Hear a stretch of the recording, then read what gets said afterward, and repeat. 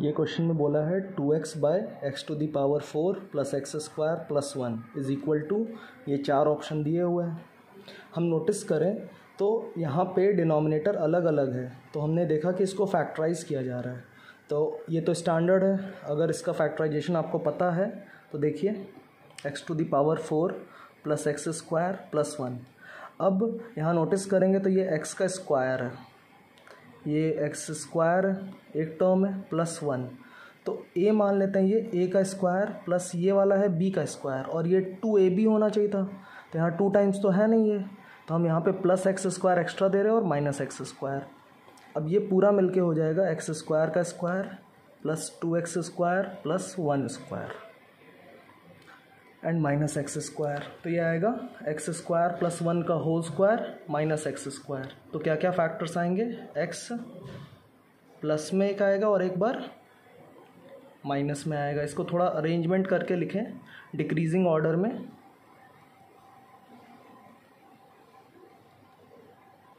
तो ये दोनों आएँगे।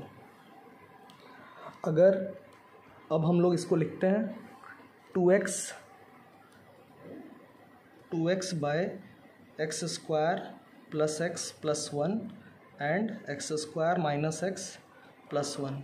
और क्योंकि नीचे में लीनियर है तो ऊपर में हम लोग, सॉरी, नीचे में क्वाड्रेटिक है तो ऊपर में हम लोग लीनियर मानेंगे। तो a one x plus b one by ये quadratic plus a two x plus b two by quadratic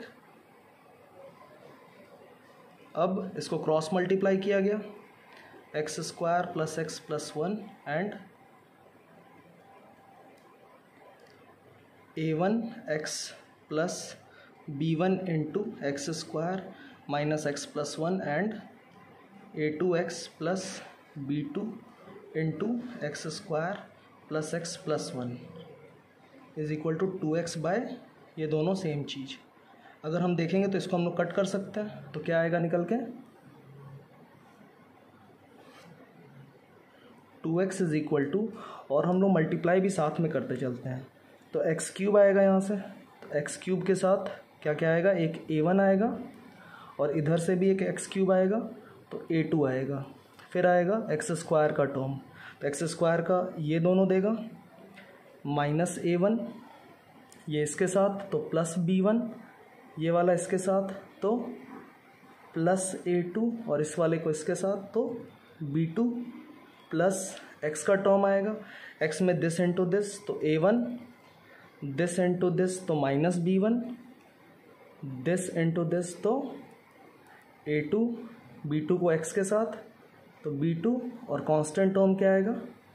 B one और b two b one plus b two अगर हम लोग कंपेयर करेंगे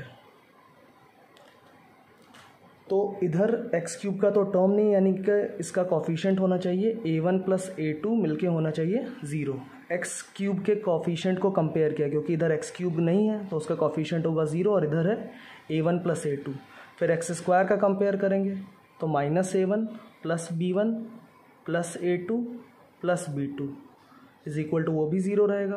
फिर एक्स का कंपेयर करेंगे a one minus b one plus a two plus b two जब x का कंपेयर करेंगे तो इधर एक्स का है टू तो इसको टू मानेंगे और फिर last one b one plus b two भी क्या आएगा?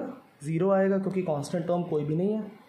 तो इससे सॉल्व होके आ रहा है ए टू जो है वो है माइनस ए वन इससे सॉल्व होके आ रहा है बी टू जो है वो है माइनस बी वन अगर ये दोनों वैल्यूज़ हम लोग, ये थर्ड वाले में पुट करें मतलब सेकंड वाले में तो माइनस ए वन तो यहाँ पे रहेगा ही। इसको मैं नीचे सॉल्व करता हूँ।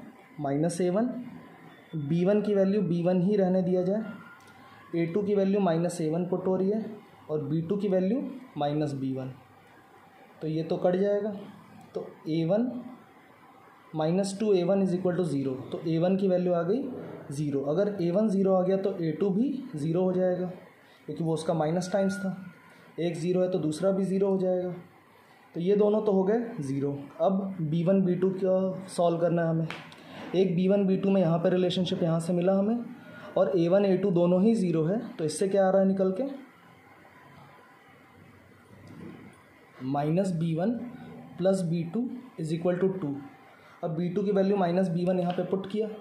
तो minus b one minus b one equal to two तो बी वन की वैल्यू आ रही है माइनस वन। अगर बी वन माइनस वन है तो बी टू कितना आएगा निकल के? यहाँ माइनस वन पुट कर दिया तो वन आ जाएगा।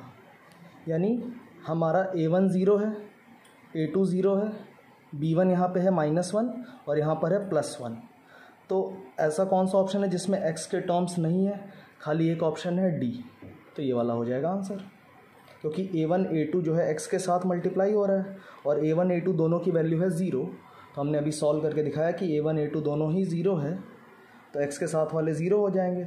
और आप देखेंगे चारों ऑप्शन में एक्स लिखा हुआ है। और एक में बस एक्स नहीं लिखा हुआ है। तो यानी ये वाला हो जाएगा आंसर डी वन